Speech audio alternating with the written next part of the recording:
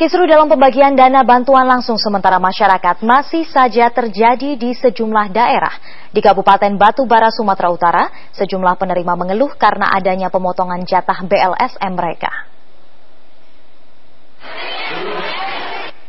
Sebelumnya, dalam distribusi dana BLSM tahap pertama di Desa Sei Sukaderas, Kecamatan Sei Suka, Batubara, Pihak kantor pos telah membagi sesuai besaran jatah BLSM, yakni Rp300.000 per kepala keluarga.